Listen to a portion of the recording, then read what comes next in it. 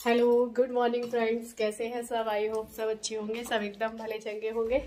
और आज है दिन गुरुवार है। गुरुवार है नंदनी? गुरुवार है सुबह का टाइम हो रहा है मैं जा रही हूँ नंदनी को छोड़ने और मुझे भी जाना है शिवानी को देखने के लिए। तो बस तैयार व्यार होके निकल रहे हैं हम। खाना पीना अच्छे से? जा रहे हो आज? हाँ खाना वाना खाती रहना। और भूख ना लगे तो बता देना।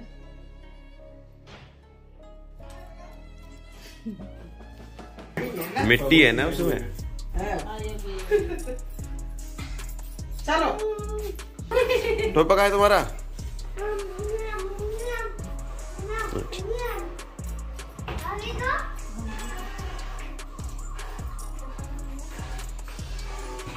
भाई तुम चलेंगे बस मेरे पास अपने पास।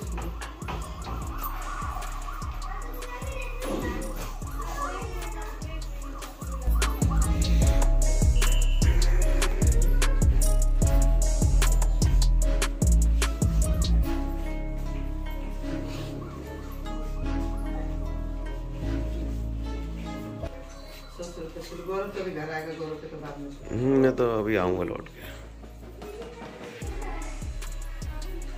ये भी आ जाएँगी परसों तो आ ही जाओगे ना तुम? बाई चांस टाइम कितने बजे आओगे कन्फर्म जाएँगे। मुझ हाँ। हमें भी निकलना है। ग्यारह को।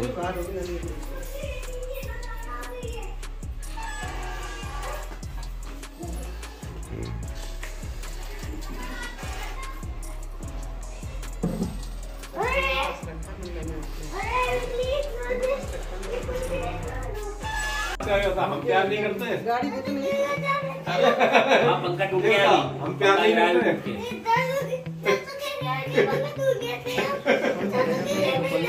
नहीं जाएगा पंखा टूट जाता है नहीं पंखा टूट जाता है। हाँ भैया कहाँ गए? रमा आ जाओ। तो। हैं? हैं? वहीं से निकल जाएँगे तो खड़ी है। अंदर है? अरे वहीं से कहीं ना निकल जाएँगी ना हमें क्या करना? आगे से निकल जाएँगी ना? बैक क्यों करना है? कोई गाड़ी नहीं है अपनी। जल्दी जल्दी जल्दी निकलो। हैं? आ जा एक मेरे को दे दे एक बैग तू ले ले। नहीं आगे तो मैं बैठूँगा। तीन लोग हैं। नहीं नहीं मैं आगे आगे बैठ जाऊँगा। आगे थोड़ा अजीब लगेगा।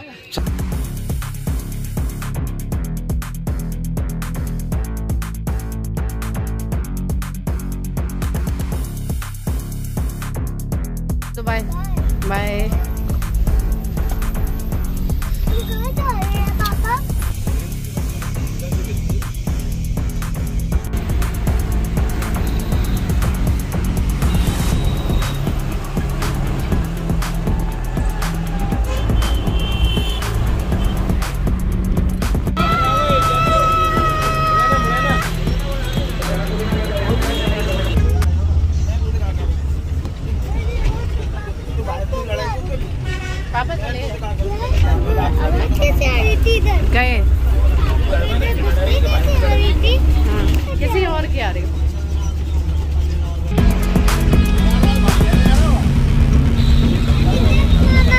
मम्मी।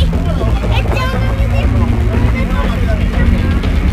नहीं उधर दूसरे लोग बैठे हैं बेटा। तो हम लोग आगरा से बस में बैठ चुके हैं धौलपुर के लिए और पीछे सीट नहीं थी तो नंदिनी आगे बैठ गई, आगे की सीट में। मैं और आयान पीछे बैठे हैं और ये देखिए कैसे करने में लगा है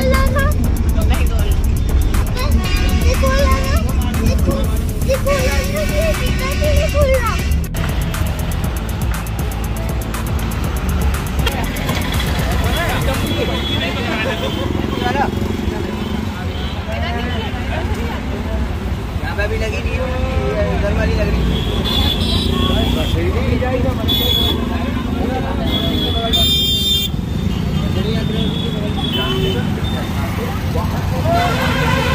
तो बस अभी मैं धौलपुर पहुँच चुकी हूँ और यहाँ से मुझे थोड़ा सा दूर जाना है, जहाँ से मुरैना के लिए बस मिलती है। तो अभी मैंने पूछा या पता किया है तो थोड़ा दूर से मिलती है मुरैना के लिए उस तरफ़। तो यहाँ से मैं ऑटो कर लूँगी तो उस तरफ़ छोड़ देंगे, जहाँ से मुझे मुरैना के लिए बस मिल जाएगी। तो बस नंदनी भी अपने घर पहुँच जाएगी और मैं भी मिलाऊँगी और ये था कि ये भी आ जाती है टाइम नहीं था काम वाम नहीं था बहुत तो मैंने काम निकल जाएगी, ज़्यादा दूर तो है नहीं है।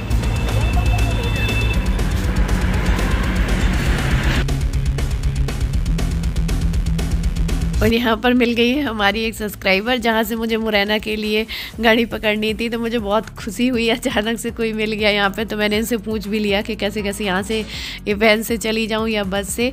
मतलब एक बहुत खुशी होती है कोई मिल जाता है ऐसे तो।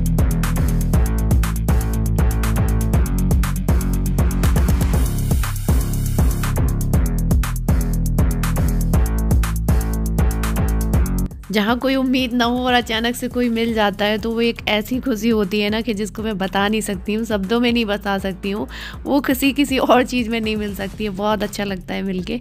तो बस यहाँ से हम लोग गाड़ी में बैठ जाते हैं क्योंकि बस का बहुत इंतज़ार करना पड़ेगा इसी से निकल जाएँगे।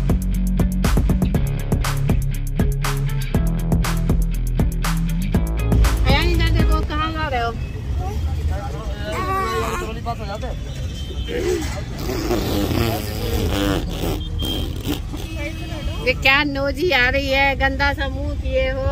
मुँह भी नहीं धुला है ऐसे चले आ रहे हो। क्यों मम्मी तो अभी मुँह तो फ्रेंड्स हम लोग क्या है यहाँ से जो गाड़ियाँ जाती है ना धौलपुर से मुरैना के लिए उसी में बैठ गए क्योंकि बस आने में देर थी बस अभी कोई दिख नहीं रही थी।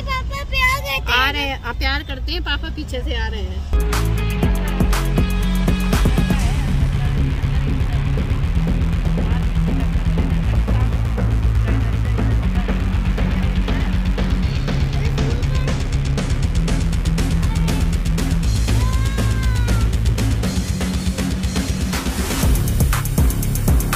तो ये है धौलपुर से मुरैना का रास्ता। जो लोग यहाँ के होंगे, बहुत सारे लोग होंगे यहाँ के, जो जानते होंगे उनका रोज़ का रास्ता होगा। तो यहाँ से ये पुल पड़ता है चंबल नदी का, फिर उस तरफ़ जाके मुरैना मिल जाता है और यहाँ मुरैने की पहचान है। यहाँ पर जो है मिट्टी के पहाड़ मिलेंगे। पान सिंह तोमर मूवी देखी ना मुरैना वाली? वही वाली, सारे मिट्टी के पहाड़ हैं। ज़्यादा प्यार आ रहा है बाहर आके।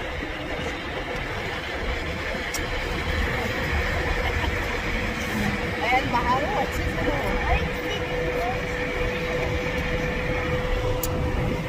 बस हो गया।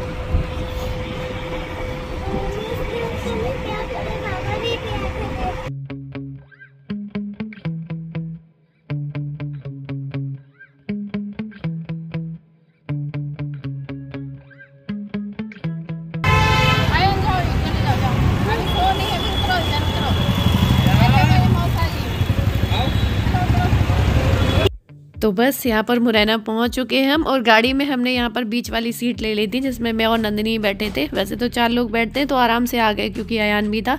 और बस यहाँ पर ये है शिवानी के हस्बैंड राहुल भैया।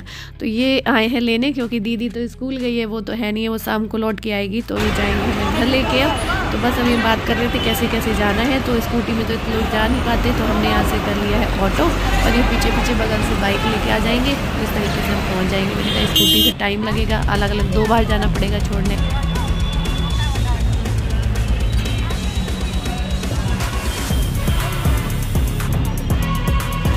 तो ये देखिए, ये हम मुरैना पहुँच चुके हैं। ये मुरैना का ही रोड है और बहुत ज़्यादा भीड़ रहती है इस रोड में। बहुत भीड़ रहती है, यहाँ पे मैंने देखा है। इतने बड़े शहरों में शाम के टाइम तो यहाँ इतनी भीड़ हो जाती है कि सच में कुछ समझ में नहीं आता है, क्योंकि ये देखिए, बिल्कुल मेन मार्केट के पास में ही है। ज़्यादा दूर नहीं है दीदी का घर। तो बस अभी हम पहुँच रहे हैं। थोड़ा थोड़ा तो मुझे याद था कैसे कैसे जाना है, लेकिन बिल्कुल से याद नहीं है उनका घर। तो बस ये पहुँच चुके हैं गली में और दीदी का बेटा आ रहा है। पीछे पीछे साइकिल में मुझे देख गया वो भी देखने आ रहा था कि मौसी आ गई है। आने वाली है। ये देखिए गोल अयान उछला जा रहा है जाने के लिए, मुझे भी साइकिल चलानी है। तो बस हम पहुँच चुके हैं अभी घर पे।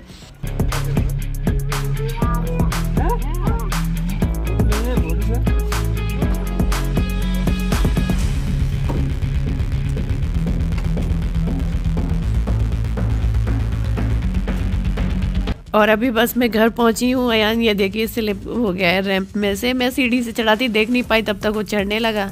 और ये राहुल भैया उतारने में लगे थे, बैग वैग ये देखिए फिसल गए। लगा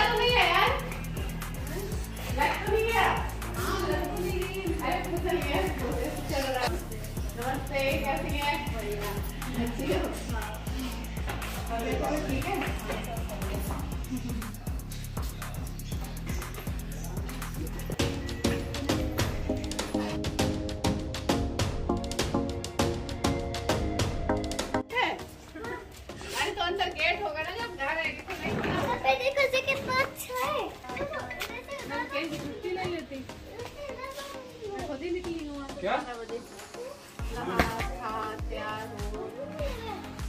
तो बस अभी मैं आके बैठी थी, आने के बाद में बस मैं शिवानी से बातें कर रही थी, हालचाल ले रही थी और पूछ रही थी सब कुछ का कैसा चल रहा है, तबीयत वगैरह कैसी है। यही सब बातें कर रही थी बैठ के धूप में, क्योंकि ये यहीं पर बैठ जाती है धूप में जब तक और उसको आज जाना भी था डॉक्टर को दिखाने तो अभी गई नहीं है क्योंकि उसकी तबीयत ठीक नहीं है। तो बातें आते कर रही थी, दीदी है नहीं, दीदी का इंतज़ार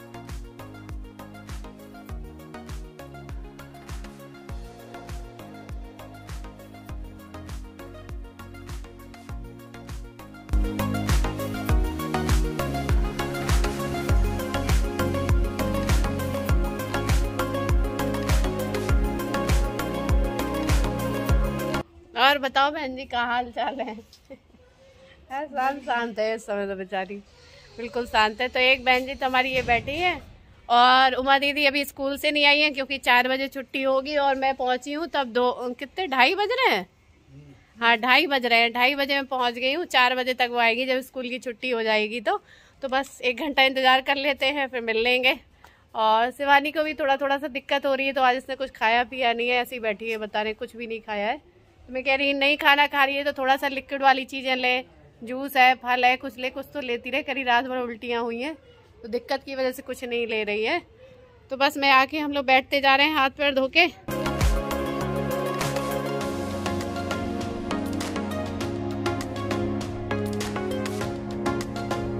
और जैसे ही मैं आई थी तो मुझे आते ही नहीं बताया। शिवानी ने थोड़ी सी देर से बताया है कि पापा को बहुत ज़्यादा चोट लग गई है। पहले कुछ नहीं बताया उसने। पता नहीं मार्केट गए थे अदरक लेने तो वहाँ ऑटो वाले ने उन्हें हाथ में से उस पर ऑटो का धक्का लगाया, पता नहीं कट गया है बहुत ज़्यादा हाथ। तो उसमें तेरह चौदह टाँके आए हैं, बहुत दर्द में है वो। अभी अभी की बात है, जैसे ही मैं रास्ते में थी तभी लगी है चोट तो बहुत मूड ऑफ़ हो गया सुन के। बहुत ख़राब लगा कि एक तो बुढ़ापे का शरीर है तो और ज़्यादा कमज़ोर भी बहुत है।